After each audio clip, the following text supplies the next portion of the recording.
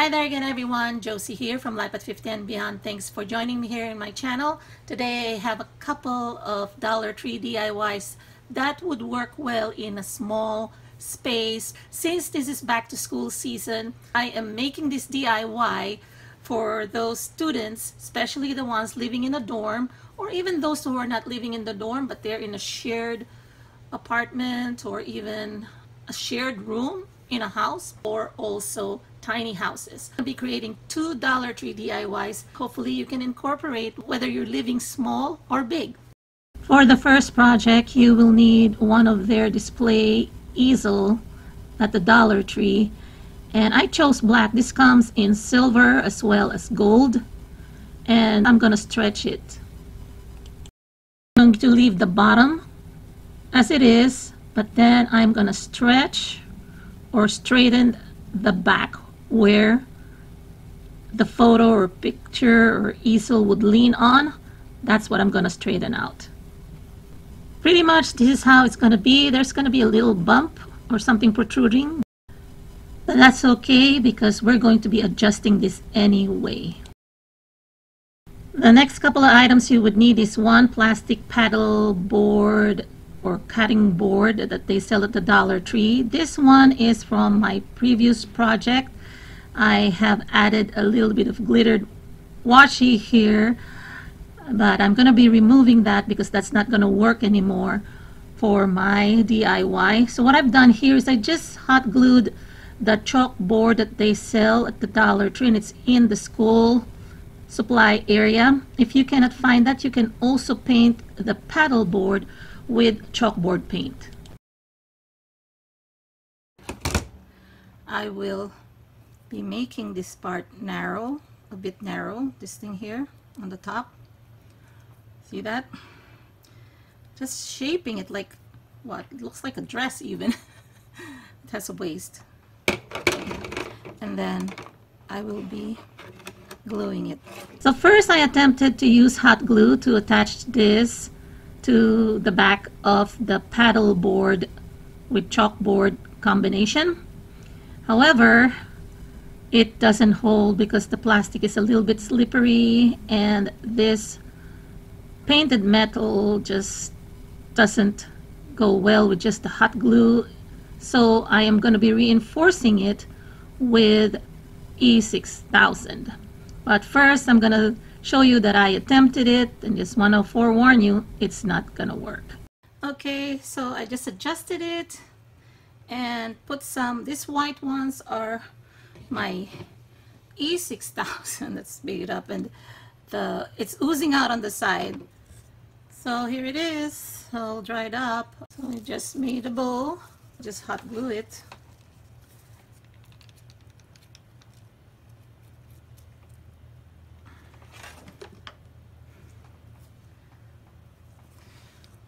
Put it in the middle here and voila right on so this project just cost me only three or less than four dollars because this one is three for a dollar for the second small space or dorm room hack organizer, I'm using a couple of these geometric gray and white placemats.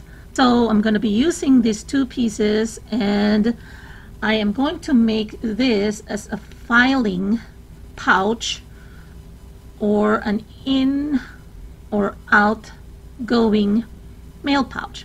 So to fold this, I'm going to make sure that this made in the USA inscription here or mark is not going to be where I'm going to fold it because I'm going to fold this to create a pouch. So that's going to be on the top back, which is going to show in the front. So I'm just eyeballing it here. On this one, I would say this is like two inches, okay? And then you can go ahead and crease it or fold it. Okay, I am going to be applying glue onto this section here. But I have to be very careful that I apply it towards here because it's rounded edge okay so I'm to use a pencil and this is going to be my end point for the glue. Okay so that would be the bottom part of the curve. The one closest to the line. Okay? So I have that dot there. Now go ahead and make it longer now because uh, it will be hidden away anyway. Okay. start from here. Just thin layer first.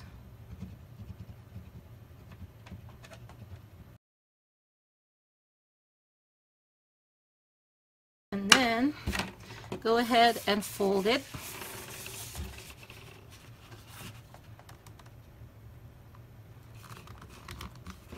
Make sure before it captures that you can still move it.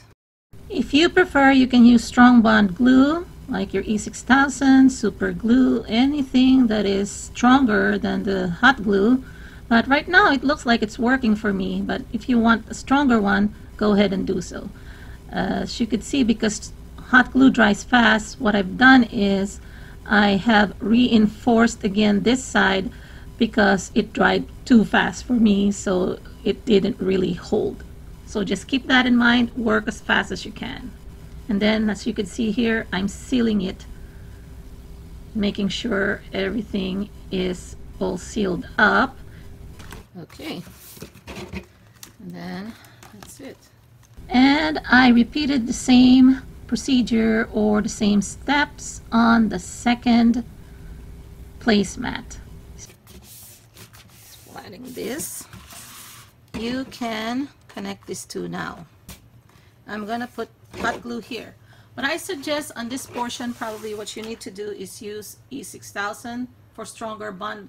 But for now, since I'm just testing it out, I'm going to be using hot glue, okay? So I'll just apply generous amount of glue here on this top portion and then I am going to be attaching that to the bottom of the top envelope or pouch.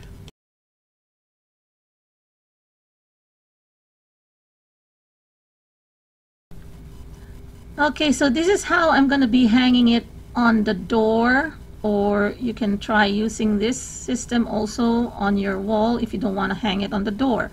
So I'm going to be puncturing two holes and I'm going to make sure that those two holes are aligned to this shower caddy's hook. From the top, eyeball something like this, like um, half an inch from the top. To puncture the holes, I'm using this hole puncher and they sell this also at the Dollar Tree. It's sharp enough to puncture hole in this thin vinyl placemat as you can see on that side and I'm going to repeat it on this side.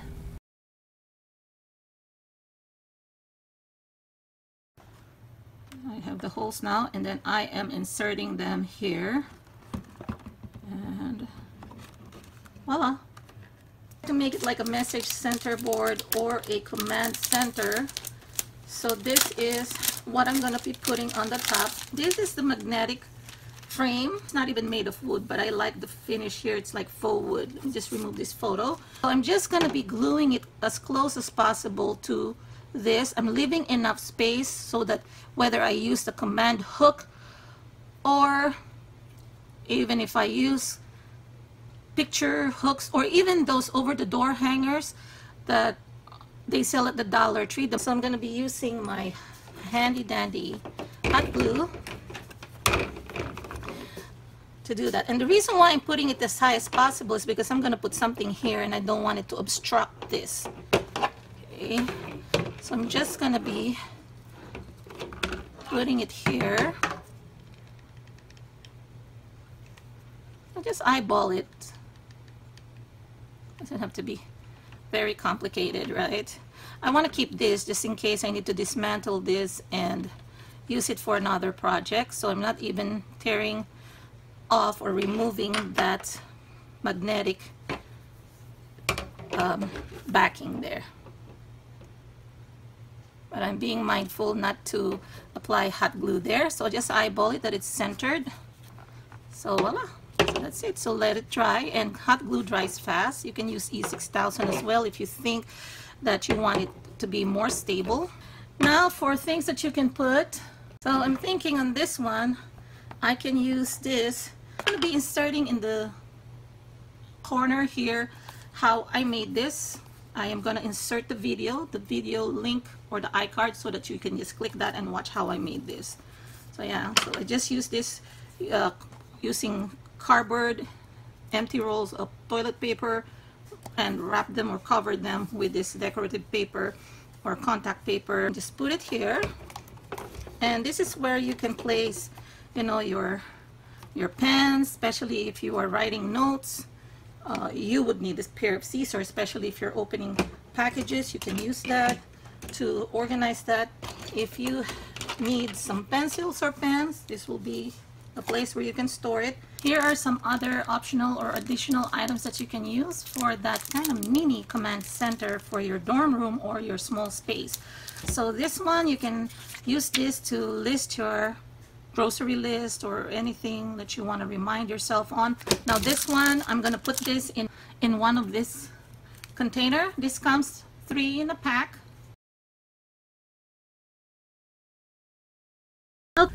So here's the final shot everyone.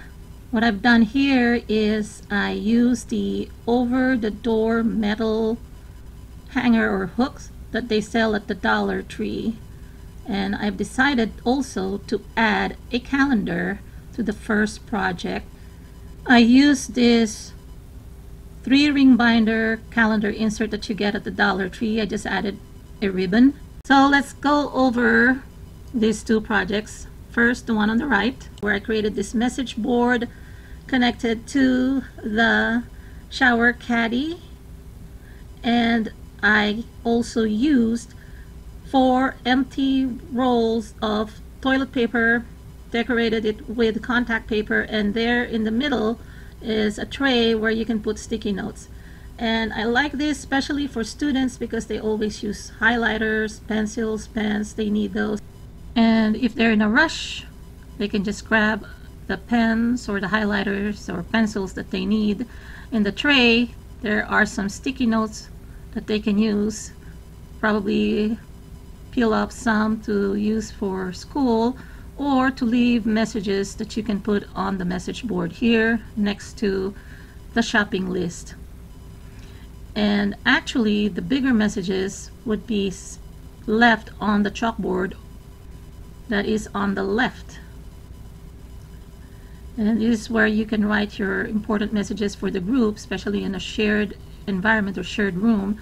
You can put the big message here like saying okay pep rally scheduled for Saturday at 7 p.m. things like that and that's for everyone especially if you're all in the dorm in the same school of course and I like also this in and out pouches so for incoming and outgoing mails if you have multiple people let's say there are four of you you can just add more envelopes just connect them together just the way I connected the first two. And just label them instead of in and out label them with the name. So somebody will be in charge of the mail every day to sort them out. So you kind of rotate and then put the mails there or if you would prefer not to use it for those just use this for your stationery organizer for envelopes, for mailing envelopes, or even mailing notepads. The stamps, you can put them in the tray organizer. Perfect for someone living alone because I don't think you would want to leave your car key here in case, in case your roommate would want to drive it on her own while you're asleep, right? But this is a place where you can also put your ID if you're living alone. Maybe if you have a shared restroom and it's locked, and everyone has a copy of the key for each room you can just leave it here and then whoever goes to the restroom will put it back after using. Okay everyone i hope you enjoyed this video. If you did please give it a thumbs up. Please share to anyone who may be interested in the same kind of setup and I apologize if it's a bit long because I gave you two projects in one video and I gave more details on each step so that whenever there are questions or possible questions, they're already answered on the tutorial. But if you have additional questions, do not forget, you can comment down in the comment section below and I'll be more than happy to respond to your question. If you are new to my channel, welcome. Please don't forget to subscribe and also click that notification bell once it appears after you click the subscribe icon. And to my returning subscribers, thank you all for your support. Take care everyone. Have a great day. Hope to talk to you again in my next video. Bye-bye.